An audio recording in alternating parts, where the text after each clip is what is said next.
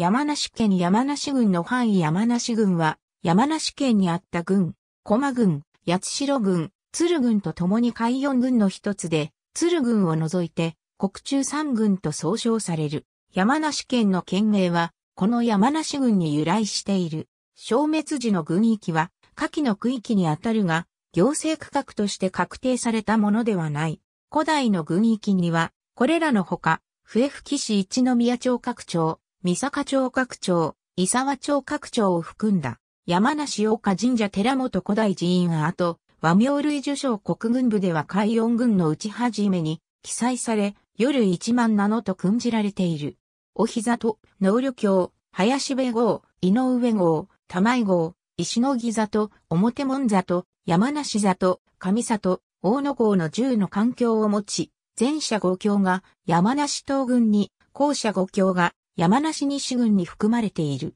平安時代に成立した和名省では、環境が二分されており、柏山京塚出土の項は5年目京術にも、山梨東軍の略称と考えられている三東軍の子が見られる。後期古墳時代の甲府盆地では東西に、か、棒夏か古墳を築造した、盆地北西部勢力とバーツカ古墳を築造した、盆地東部の三坂勢力が対峙し、中間に春日井古墳群や寺本廃寺を築造した新興勢力が進出する状況が想定されているが、山梨郡では県軍当初から春日井勢力と三坂勢力が対峙する構造があったと考えられている。また、軍域には駒軍の飛び地も含まれている。資料上の所見は、正倉院宝物の長陽次郎足絹金星袋の牧書名や、平城旧石出土木館の牧書名のほか、一宮町坪井の大原遺跡から出土した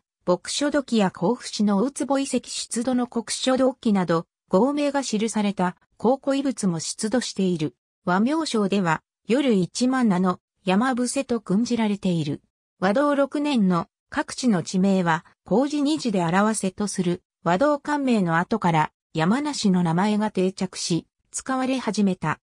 そのため、交換に通説だとしてルフしている。山梨の由来は、山梨の木が多かったからというものは、いささか単純すぎるものであり、語源としては、山ならすが、山梨へと転化してゆき、それに麹としての、理の字を当てたと見るのが有力である。山ならすとは、甲府盆地の東部に位置し、盆地を囲む山々を除けば、工程の少ない平坦な土地であった、東軍を表した言葉である。和名称では、海野国府は八代郡に所在していたと記載され、和名称の成立した後期国府は山梨、八代郡境にあたる三坂町国画の地に想定されているが、山梨郡域にあたる旧春日井町域には、国府や静めなどの地名や県内最古の古代寺院である、寺本廃寺や灌漑遺跡、または工芸遺跡と考えられている国府遺跡など、和名称成立以前の初期国府が所在していたと